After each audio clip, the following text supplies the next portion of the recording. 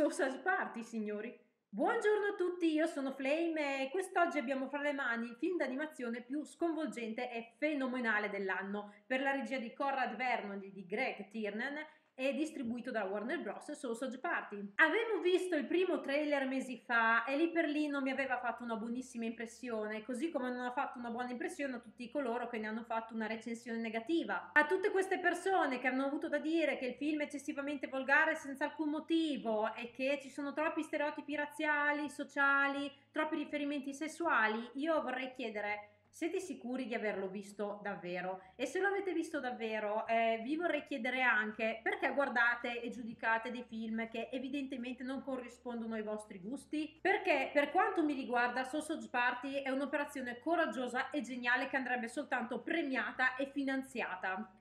E da quello che so, a proposito delle polemiche, questo film è vietato ai minori di 14 anni in Italia e ai minori di 18 in America, per cui lo sapete in anticipo, non andate a guardare quel genere di film se non vi piacciono. Io non vado a recensire dei film se so a prescindere che non mi piace quel genere lì perché sarebbe stupido, finirei per essere di parte e non dare un giudizio obiettivo. Tra l'altro, per quanto riguarda il divieto ai minori di 18, credo di essere una delle pochissime persone a pensare che sia un pochino eccessivo. Voglio dire, a me va benissimo che sia vietato solo ai minori di 14 anni, perché è vero che contiene un linguaggio volgare, ai limiti della volgarità, ci sono scene violente, sessualità esplicita, tutto quello che volete, ma alla fine dei conti stiamo sempre guardando dei panini e dei Wüsterl, cioè saranno antropomorfizzati, ma sono sempre degli oggetti, cioè è come se io prendessi questo rossetto e questa penna e poi cominciassi a mimare un amplesso, voglio dire, non credo che sia così scandaloso da dover vietare ai minori di 18 anni, ma questa è un'opinione mia. I contenuti più pesanti di questa pellicola sono proprio quelli a livello concettuale, del messaggio che vogliono mandare, perché effettivamente un ragazzino non può capire bene il discorso che il film vuole fare,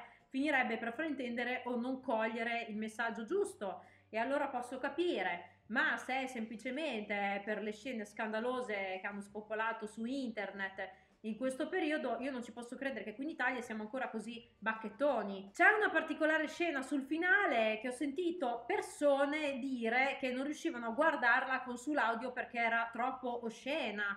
E io quando l'ho vista nel film sinceramente ho riso per tutto il tempo perché stavo guardando, ripeto, dei bagel, dei lavash, dei panini, dei wusterle ma per carità, oggigiorno i ragazzi sono abituati a vedere qualsiasi cosa, anche trasmessa in prima serata, film soft porno, film erotici, film con della violenza accentuata su persone, non su panini o salsicce e sinceramente mi sembra un pochino ipocrita scandalizzarsi per un filmetto del genere. L'unica cosa che mi dà da fare è la clausola che un ragazzino minore di 14 anni possa entrare a vedere Sausage Party se accompagnato da un adulto. Allora, lì effettivamente No, eh, non esiste. Un ragazzino di 12 anni, anche accompagnato da un adulto, non dovrebbe vedere questo film, a parte per tutte le parolacce, i contenuti sessuali e la violenza, ma semplicemente perché non lo capirebbe. È un film per adulti in tutto e per tutto. Come al solito, prima la trama senza gli spoiler. Allora, Frank e Brenda sono rispettivamente un Wüster e un panino per Wüster che abitano nelle loro rispettive confezioni in un supermercato chiamato Shopwell. In questo supermercato i prodotti vivono la loro vita nell'attesa di essere comperati dagli dei, cioè noi esseri umani, per essere portati nel grande oltre, questo posto paradisiaco in cui sognano di vivere finalmente liberi dalle loro confezioni, coccolati e riveriti dai loro creatori, cioè noi. Tutte le mattine si intona una canzone di preghiera agli dei umani e si cerca di rispettare le regole, ovvero rimanere chiusi nella propria confezione e non mischiarsi agli altri generi alimentari anzitempo per rimanere freschi. Se ciò non dovesse accadere, infatti, finiranno preda del signor oscuro, così gli alimenti chiamano il responsabile del negozio, che li prende e li butta via, precludendogli per sempre la possibilità di andare nel grande oltre con gli dei. E Frank e Brenda si amano da impazzire e vorrebbero a tutti i costi unirsi carnalmente, ma stanno aspettando con pazienza di essere comprati. Ma un brutto giorno, alla vigilia del 4 di luglio, accade un fatto inquietante ovvero una mostarda dolce viene riportata al negozio da un cliente che si era sbagliato e voleva quella forte. Appena viene rimesso sullo scaffale, però, mostarda dolce comincia a urlare e delirare come un pazzo, dicendo di non voler più andare assolutamente fuori dal negozio di non voler andare nel grande oltre perché il grande oltre è una grandissima stronzata e mentre lì che grida terrorizzato viene raccolto di nuovo da una cliente che lo mette nel carrello assieme alla confezione di Wuster di Frank, a quella di panini di Brenda, a una confezione di lavash, di bagel e una lavanda vaginale. Mostarda a quel punto comincia a urlare a tutti quanti che gli dei sono dei mostri, di scappare e fa per buttarsi suicidandosi giù dal carrello. Frank, che era l'unico che gli stava dando ascolto, prova a salvarlo, così anche Brand e quindi escono dalla confezione. Ma questo provoca un gran casino perché pian piano tutti i generi elementari cominciano a rovesciarsi dal carrello e cominciano a morire uno dopo l'altro o spaccati o mh, mm, schiacciati dalle ruote del carrello in maniere orribili. Però prima di morire Mostarda Dolce riesce a dare a Frank un'informazione gli dici di cercare Acquaforte, che potrebbe essere uno dei pochi a sapere cosa succede davvero all'infuori del supermercato. Ed è da qui in poi che il film entra nel vivo perché inizierà il viaggio di Frank e Brenda alla ricerca della verità, del significato della loro esistenza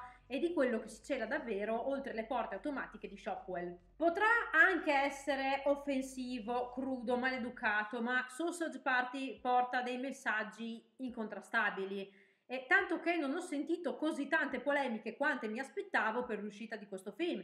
Ce ne sono state, ma me ne aspettavo molte di più, specialmente da parte della Chiesa. Insomma, considerata la polemica che aveva sollevato Dinolfi su Kung Fu Panda 3, un film innocuo di cui non c'era assolutamente niente da temere o di cui preoccuparsi, sono sorpresa del fatto che questo particolare film Sausage Party non abbia sollevato almeno una quantità uguale di polemiche, se non maggiore. Poi magari ora che giro il video ho parlato troppo presto e tra poco si solleverà eh, il pandemonio, però per adesso non mi sembra che ci sia tutto questo parlare e sotto certi punti di vista non è neanche troppo un bene perché delle volte il silenzio mediatico è una contromisura più perfida del troppo parlare su certe argomentazioni. Questo film in effetti avrebbe bisogno di propaganda e non eh, sollevare troppe questioni a riguardo significa non fornirgliela. Ecco perché voglio assolutamente parlare di questo film, perché è praticamente impossibile controbattere ai principi positivi che questa fantastica pellicola offre. Si affronta il problema della diversità, della religione utilizzata per il controllo delle masse, della diseguaglianza tra sessi ed etnie, della repressione sessuale. E nonostante per tutto il film noi vediamo eh, stereotipi fioccare ovunque, quindi vediamo la Vash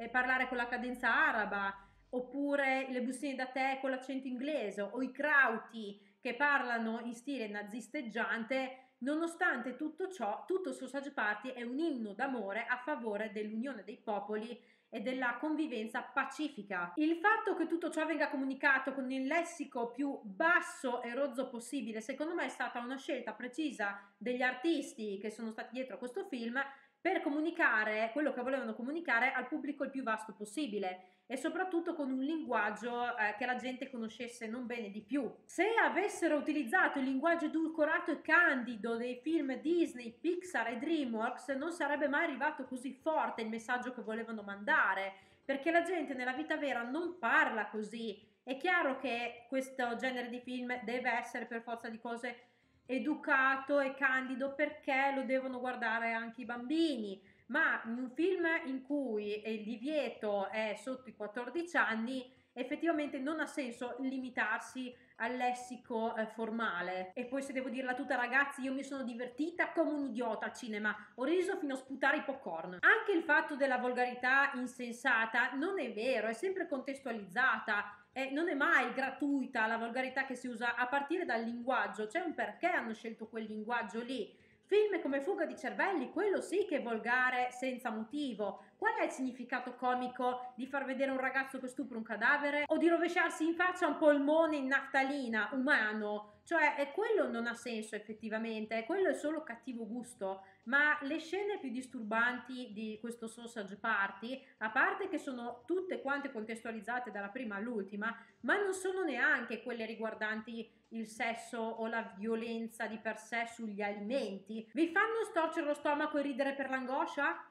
Va bene, è giusto, è l'effetto che deve dare Sausage Party. Questo film mira a sconvolgere e colpire le persone. Non ci riuscirebbe se si ammorbidisse troppo. Se un film è fatto apposta per sensibilizzare le persone su un determinato argomento, non bisogna non andare giù pesante Se eh, Spotlight fosse stato appena un po' più leggero non avrebbe dato lo stesso effetto. È importante che la gente si renda conto delle cose che non vanno. Vero ragazzi? Non vuoi parlare della violenza sulle donne, dell'ibristofilia e della sottomissione volontaria? Non mettermi la fottuta Harley Quinn in un film sulla Suicide Squad! Ma non andiamo T che non voglio sollevare discussioni inutili facendo incazzare le fan adesso, tanto non servirebbe assolutamente una mazza e non c'entra niente con Sausage Party. Tornando al film, io sono molto contenta che lo abbiano fatto in questa maniera, cioè senza una tendina pudica per non offendere la sensibilità delle persone. Io sono dell'idea che sia giusto sconvolgere le persone in qualche modo, altrimenti secondo me il messaggio non arriva abbastanza efficace.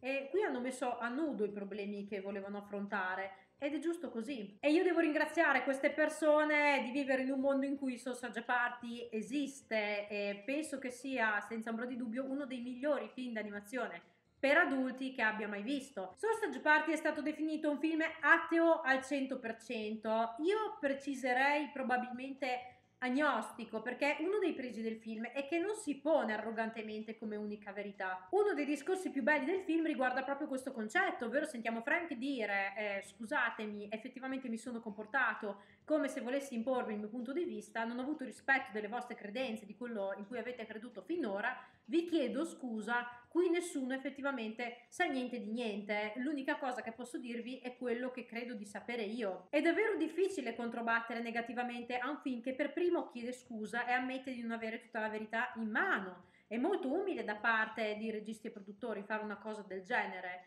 E in questo film si tratta tantissimo la tematica religiosa, la tematica di quello che ci potrebbe accadere una volta trapassati e noi lo sappiamo molto bene che cosa accade ai prodotti una volta arrivati nelle nostre case per cui potremo anche intuire come la pensa il film riguardo al nostro trapassare. Sausage Party non è una propaganda atea, tant'è che molte delle persone che ci hanno lavorato all'interno hanno un orientamento religioso dichiarato e definito, non è che l'hanno rinnegato perché si sono messi a doppiare o a disegnare eh, questo particolare cartoon. Per esempio, Seth Rogen, il doppiatore di Frank, è di religione ebraica. Il film non è un tentativo di attaccare la religione in generale in quanto tale, è una riflessione intelligente sul concetto stesso della religione è una probabile ipotesi, come tante, la, l'ipotesi atea appunto, ma non è una propaganda a quel punto di vista. Viene solo mostrato in che modo una cosa del genere possa essere manipolata e sfruttata per controllare le masse a uso e consumo di chi è più potente, di come questo provochi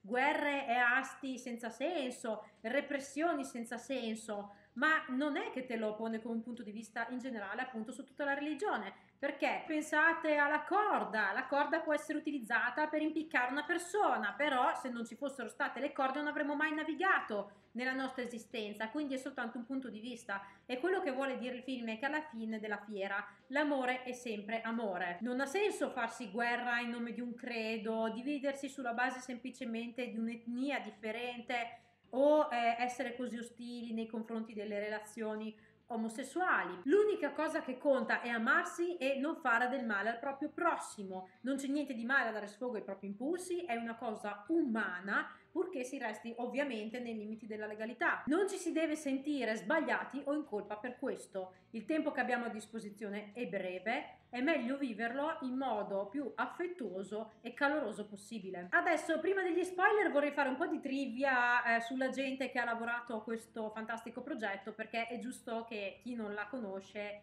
la conosca immediatamente. Allora, gli ideatori di questa logica follia sono stati, già citato, Seth Rogen, Evan Goldberg e Jonah Hill. Jonah Hill ha già lavorato con Seth Rogen e Adam Sandler in Funny People, ma è stato anche al fianco di Leonardo DiCaprio in The Wolf of Wall Street, nonché protagonista di 21 Jump Street e vicini del terzo tipo. Però la sua carriera ha preso anche il mondo dell'animazione, precisamente per la DreamWorks. Come doppiatore, infatti, lo troviamo nei panni di Mochicoso nei film di Dragon Trainer oppure di Titan nel mitico Megamind. Qui Sausage Party, oltre che essere uno degli ideatori, è anche produttore esecutivo del film e insieme doppiatore di uno dei migliori amici di Frank, ovvero Carl. Gli altri due pazzi, Seth Rogen ed Evan Goldberg, sono a loro volta, oltre che ideatori, anche sceneggiatori, produttori e doppiatori del film. Seth Rogen in particolare si è sempre occupato di commedia al limite della scorrettezza e a sua volta non è nuovo nel mondo del doppiaggio. Si era già cimentato nei panni di Mantide in Kung Fu Panda e soprattutto di Paul nell'omonimo film di Simon Pegg e Nick Frost, ma dal suo meglio nei panni di attore e sceneggiatore e soprattutto quest'ultimo ruolo insieme all'amico Evan Goldberg. Durante la visione del film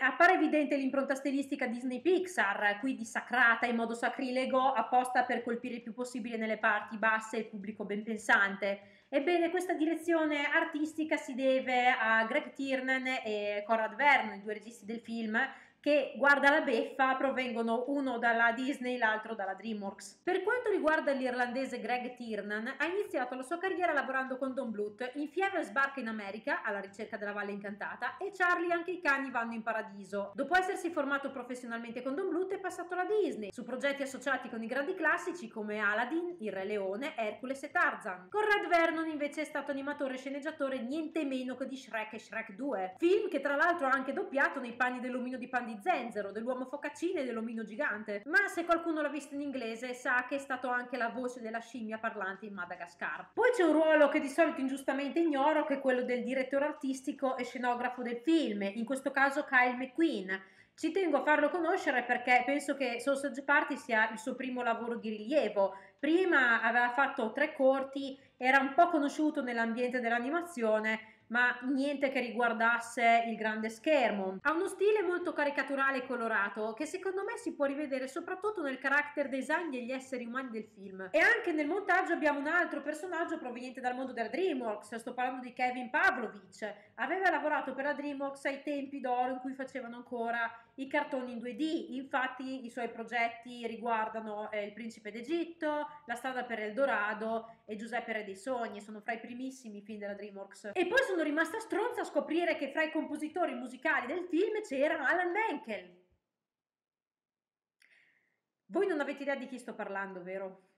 Io sto parlando dell'uomo che ha fatto la vostra infanzia, che ha fatto di voi gli uomini e le donne che siete ora, eh, grazie al quale siete su questo canale a guardare questo mio video che altrimenti sarebbe incagabile. Ebbene, a seguire un breve catalogo delle sue opere.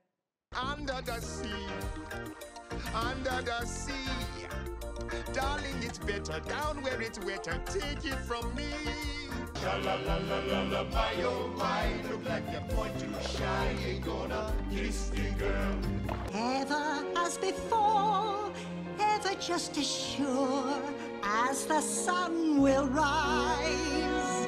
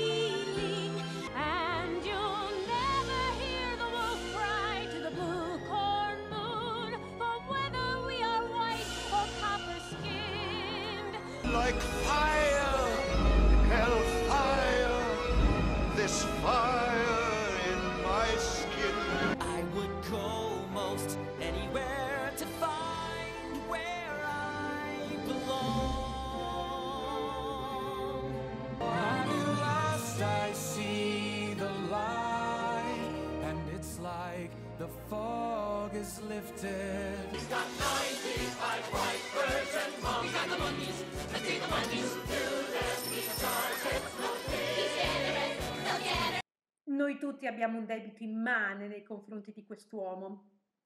Scherzi a parte, lo avranno sicuramente ingaggiato per la canzoncina del supermercato iniziale. Cavolo, però deve essersi divertito in una maniera a sporcare in questo modo le puritanissime canzoni Disney. Ma torniamo un attimo al discorso dei doppiatori, che le sorprese non sono finite. Un sacco di celebrità hanno preso parte a questa pazzia. Per esempio abbiamo Kristen Wiig, già fantasmi e fissata religiosa in Paul. Anche lei ha già doppiato dei cartoni famosi. E tra i suoi ruoli abbiamo Testa Brutta di Dragon Trainer e Lucy Wild di Cattivissimo Me. In Sausage Party interpreta la panina Brenda, l'amorosa di Frank. E poi abbiamo Michael Serra nel ruolo di Barry, Salma Hayek nel ruolo della tacos Teresa, Edward Norton, mica cazzi, che interpreta un bug ebreo di nome Sammy, David Krumholtz come Karim Abdullah-Vash e James Franco nella parte di un povero deficiente che passa le sue giornate a drogarsi. Ma il personaggio più allucinante è senza dubbio il villain Don Lavanda, doppiato da Nick Kroll. Allora, è una lavanda intima che ritiene Frank responsabile di averlo fatto cadere fuori dal carrello quando ha cercato di salvare Mostarda Dolce dal suicidio. Ecco, non credo di esagerare a dire che questo qui è uno dei villain più stronzi, più aggressivi e più sgradevoli che abbia mai visto in un film.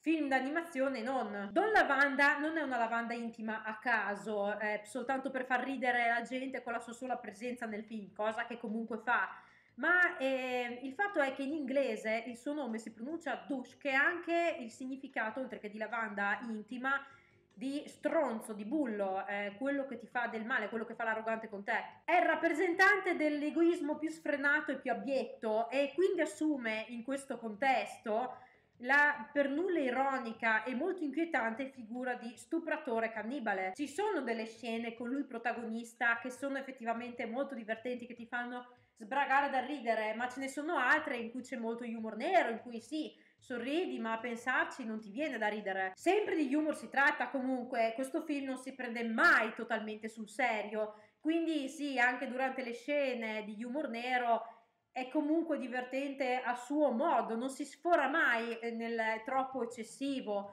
per chi guarda, nel troppo scioccante, può essere scioccante per una persona molto sensibile. Non ci sono scene di violenza che non siano già edulcorate in qualche maniera, già il fatto che stiamo guardando degli oggetti e non delle persone vere Basta l'idea però, eh, l'idea è sufficiente per instillare dello humor nero in quello che si guarda e alcune delle scene più forti e inquietanti del film riguardano appunto Don Lavanda. E uno potrebbe dire ma che cavolo ci azzecca una lavanda con una salsiccia? Perché dovrebbe essere la nemesi di Frank che è il protagonista? Beh, non tanto per quello che sono ma per quello che sanno e per quello che fanno ovvero Frank per tutto il tempo cerca di combattere per arrivare alla verità, per riuscire a capire cosa ne sarà di lui e di tutti gli altri eh, prodotti del negozio, vuole riuscire a capire cosa fare, cosa è meglio per lui e per gli altri, mentre Don Lavanda già sa che cosa deve andare a fare e lo sa il segreto del grande oltre e gli va benissimo così e non vuole che le, il meccanismo si spezzi perché lui a confronto degli altri diciamo che è privilegiato, vuole che le cose restino come stanno alla faccia degli altri. Ora vorrei parlare di alcune scene più nel dettaglio perché non voglio assolutamente fare spoiler a chi non l'ha visto perché questo film va subito come una pugnalata, tutte le scene forti devono arrivare in tutta la loro crudità e spietatezza, quindi se non avete visto il film vi sconsiglio la visione del video da qui in avanti. Come sconsiglio pure alle persone un po' suscettibili di andarlo a vedere perché se siete impressionabili non è un film assolutamente che fa per voi, rischiate di andare a fare una brutta esperienza per niente. Per quanto mi riguarda posso concludere questa parte dicendo che Sausage Party è un film da vedere e da sostenere perché questa è animazione che cerca davvero di trasmettere dei messaggi forti cerca davvero di cambiare le cose a suo modo, nel suo modo modesto, nella maniera degli artisti e per una volta tanto non si tratta della solita commediola sbrodolosa e qualunquista come se ne vedono troppo in giro. Per cui come al solito saluto qui coloro che chiuderanno il video appena partirà la schermata dello spoiler perché magari non hanno ancora visto il film e non vogliono rovinarselo. Per chiunque ha avuto le palle di vederselo oppure non gliene frega un accidente e vuole lo stesso vedere che cosa ne penso del film nel suo complesso, gli spoiler iniziano a partire da ora.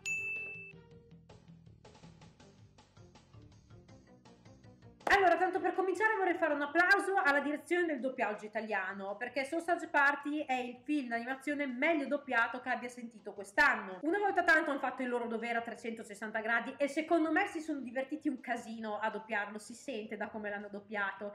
Anche se non ho capito il perché a Don Lavanda hanno dato un accento siciliano. Non che non sia comico reso così, eh, per l'amor del cielo, eh, fa morire da ridere per come lo fanno parlare però secondo me dista eh, un bel po' da quello che avrebbe dovuto sembrare in originale, perché eh, sì, lo vediamo parlare con l'accento siciliano, lo vediamo tenere in scacco la gente, minacciare, essere violento. Lo hanno rappresentato a tutti gli effetti come se dovesse sembrare un mafioso, ma io non avrei tirato in ballo quella figura lì, perché non corrisponde per tutto il resto delle sue caratteristiche, ovvero un mafioso di solito risponde a una famiglia, no? Hanno questa cosa della famiglia, dell'onore, che sono le cose di cui vagamente hanno parlato in Zotropolis. Ecco, eh, qui non c'è nulla di tutto ciò, lui è semplicemente arrogante con gli altri e parla siciliano. Questo non ne fa un mafioso. Lui assomiglia molto di più a un mostro assassino piuttosto che a un mafioso e mi rendo conto che spesso le due cose coincidono, però quello che voglio dire io è che non hanno fatto parlare Hannibal Lecter o Freddy Krueger con l'accento palermitano perché sono degli assassini. Non è che un aggressore generalmente attribuibile alla mafia, normalmente, poi eh, Don Lavanda in particolare vuole semplicemente succhiare il più possibile di liquidi per diventare sempre più forte, sempre più mostruoso, sempre più inarrestabile per poter poi uccidere Frank. C'è anche poi da dire che la mafia è un tipo di crimine organizzato, mentre questo personaggio non ha niente di organizzato, si muove tramite impulsi bestiali e quello che lo vediamo fare è effettivamente mostruoso quando succhia il succhino d'uva da quella fessura che è un chiaro riferimento anche a uno stupro a parte un atto di cannibalismo oppure quando spacca la bottiglia di tequila e beve direttamente dal suo collo cioè ha molto più in comune con figura eh, con una figura vampirica o con quella del mostro di Frankenstein piuttosto che con una figura come quella del mafioso. Probabilmente lo avranno fatto semplicemente perché l'accento siciliano faceva ridere, ma secondo me è stata una scelta un po' infelice perché è andata un po' a snaturare quello che il personaggio doveva trasmettere, ma questi sono pareri miei. La scena del massacro a casa della tipa, cioè quando i cibi arrivano a scoprire a cosa sono destinati, non mi ha sorpresa purtroppo perché è praticamente identica a quella che si vede nel trailer, cioè nel trailer come trailer hanno messo proprio la scena del massacro dei cibi a casa della cliente della, del Shopwell e quindi me la sono un po' rovinata così guardandomi prima la pubblicità al film. Quello a cui invece non ero preparata è stato l'orgione finale, quella che ha scandalizzato l'internet e anche tutte le persone in sala con me, che però si sono divertite da morire. Io personalmente, sì, anch'io in quella scena ero abbastanza sconvolta però l'ho trovata geniale. Perché in quale altro film d'animazione mi ricapiterà più di rivedere due maschi, eh, uno ebreo e l'altro musulmano, che se lo danno nel derrière.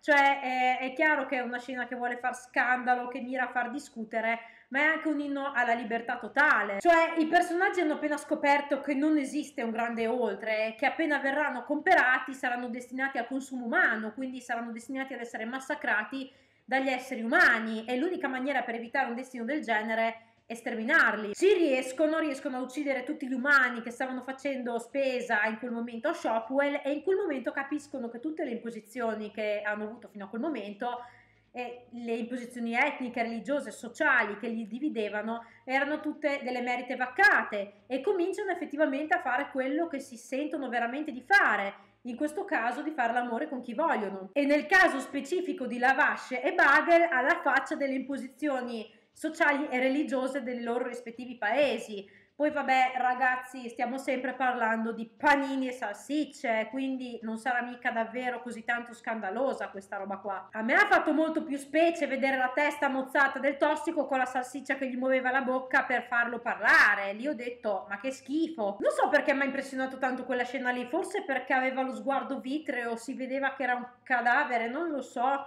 ma è comunque qualcosa di molto sopportabile, voglio dire, come ho già detto prima, questo film non si prende mai del tutto sul serio. È una cazzata dall'inizio alla fine, per cui a meno che uno non sia ipersensibile ti va giù tutto. E a proposito del tossico, la scena in cui si inietta i sali da bagno e comincia ad avere le visioni eh, provenienti dalla quarta dimensione, beh, quella scena è qualcosa di magico. Perché, come dicono i cibi che stanno assistendo alla scena, eh, lui sta vedendo il mondo come è realmente. Quindi si spezza questa barriera e lui comincia effettivamente a parlare con le salsicce, con tutti gli alimenti che ha lì sul tavolo. Mi è sembrato, mi ha dato quasi l'impressione come se Andy riuscisse a parlare con i suoi giocattoli. Poi purtroppo quella scena dura poco perché poi lui si addormenta e quando si risveglia non si ricorda più un cazzo, però nel frattempo il parallelo alimenti-vita umana c'è stato, il contatto è avvenuto. E presumo che fosse questo alla fine l'importante, fare il parallelo tra le vite che conducono i personaggi che vediamo nel film e le persone nella vita vera. È emblematico, eh, sono emblematici tutti i momenti in cui Brenda si sente in colpa, si sente punita dagli dei per aver ceduto alla terribile tentazione di questa sorta di masturbazione che ha avuto col suo ragazzo, in realtà si sono tipo solo toccati eh, le punte delle dita e per tutto il film lei si sente una sgualdrina per aver ceduto questo istinto da lei definito basso per aver fatto una cosa che nel mondo al di fuori dei dogmi religiosi è assolutamente innocente. Quante volte persino oggi nel 2016 mi è capitato di sentire delle persone fare discorsi del genere. Ecco, questo film non giudica chi crede ciecamente in questo genere di cose, si limita semplicemente a offrire una visione alternativa a mio parere più ragionevole e più logica, ma non per questo per forza di cose giusta. Infatti è una visione che offre ugualmente vantaggi e svantaggi. Eh, per esempio, i personaggi non possono più vivere col pensiero confortante di un grande oltre che li attende in cui non gli succederà nulla di male. Però in compenso ora sono padroni completi dei loro corpi, possono vivere in pace e armonia con chiunque perché non ha più senso dividersi e soprattutto non si devono più sentire in colpa per aver provato degli impulsi che sono naturali nell'uomo dalla notte dei tempi. Questo film inoltre bandisce ogni tipo di odio, sia razziale che omofobo, che di qualsiasi altro tipo. Sotto questo punto di vista sembra la versione molto per adulti di Zootropolis, per dire. E mi è piaciuta anche molto la spiegazione che hanno dato sul perché la gente credesse nel grande oltre, cioè per il fatto che i prodotti non deperibili, tra cui anche acquaforte, che è questa bottiglia di liquore con sembianze di un indiano d'America, avessero inventato di sana pianta tutta la storiella sul grande oltre per evitare di far soffrire i loro compagni una volta comprati, perché tanto sarebbero morti in maniera, quindi tanto valeva che andassero incontro alla morte con dei pensieri positivi. E ancora di più mi è piaciuta la spiegazione sul fatto che la canzone iniziale, quella che cantano per gli dei, che era stata ideata da Acquaforte dal suo team di non deperibili, fosse stata manipolata e cambiata nel tempo per adeguarsi ai gusti delle varie nazioni e dei vari capi all'interno del supermercato ovvero all'inizio era piena di messaggi positivi, d'amore, d'accordo, e poi dopo ci ha messo lo zampino il nazista e ha scritto che i succhi dovevano andare nei campi di concentramento. Tra l'altro succo in inglese si pronuncia juice eh, in modo simile a ebreo. Ma come l'ha fatto il nazista lo hanno fatto anche altri generi alimentari. Per esempio nel film a un certo punto, mentre l'indiano racconta, passa, una, passa un'immagine con un barattolo eh, di cibo che scrive una roba tipo Dio odia i froci, una roba del genere, e la mette all'interno della canzone per dire quanto è stato cambiato il senso originale che aveva pensato Acquaforte insieme ai suoi compagni. Tra l'altro a me è fatto sputanare il fatto che Acquaforte e non deperibili si facessero di canne dalla mattina alla sera, 24 ore al giorno a quanto dicevano è un film politicamente scorretto secondo tutti i punti di vista, ma secondo me in questo sta la sua efficacia. Ecco, mi è appena venuto in mente a quale altro film somiglia Sausage Party. Non so se lo avete mai visto, The Island, ma c'è la stessa tematica della terra promessa e che in realtà è una promessa di morte. Cioè la gente vive con la convinzione di andare prima o poi sull'isola e non si rende conto che l'isola in questione non esiste e che loro tutti sono soltanto dei cloni delle persone reali che stanno al di fuori e servono come riserva di organi nel caso eh, quelli delle persone vere deperissero. Poi altre scene che mi hanno colpito Ah sì, cioè quella, ah, dunque alla scena del preservativo la sala esplosa perché faceva talmente schifo ma era talmente deficiente che si è alzato il boato, è stato un momento delirante per tutti quello lì. E poi un'altra scena che mi è piaciuta da morire è quella in cui Mostarda Dolce comincia a sclerare, a mandare a cagare tutti e poi si butta giù dal carrello. Non so cos'è che mi ha fatto più sputtanare di quella scena lì, se le tempistiche comiche o il doppiaggio che hanno dato a Mostarda Dolce, ma quando eh, lui eh, dal carrello urla fanculo!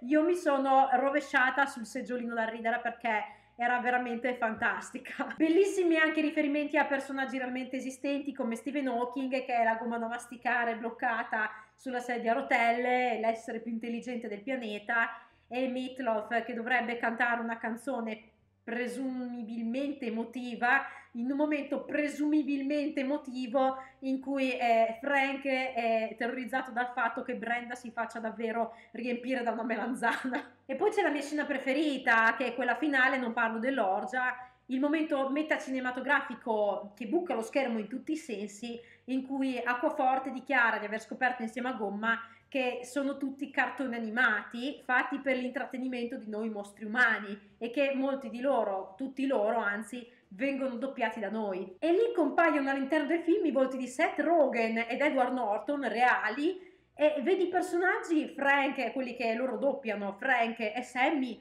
uno che dice ma come sono ebreo, ma mica lo sapevo, e Sammy che dice ma che cazzo di nome è Edward Norton, ma quale genitore dà un nome del genere al figlio? E poi attivano questo Stargate ricavato da una tavoletta del cesso per entrare nella nostra dimensione. Beh ragazzi, quando si dice fantasia senza confini e creatività artistica, io penso che si intendano momenti cinematografici come questo, perché per tutto il film ti hanno martellato col concetto che probabilmente il grande oltre non esiste, che è importante considerare ciò che abbiamo eh, a livello materiale e poi dopo ti servono un sogno su un piatto d'argento. Il bucare il muro della quarta parete, cioè della serie non è vero che è una cosa solo perché non la vedi e non la senti, non esiste, magari si trova in un'altra dimensione. L'importante è che nel frattempo che arriviamo a scoprirlo non ci scanniamo sulla base di litigi e guerre del tutto stupidi e infondati. E questo è più o meno tutto quello che avevo da dire su Sausage Party, un film che non ha per niente deluso le mie aspettative e per il quale spero con tutto il cuore, come si dice, che ci faranno un sequel, probabilmente dicono mezzo live action, un po' come chi ha incastrato Roger Rabbit.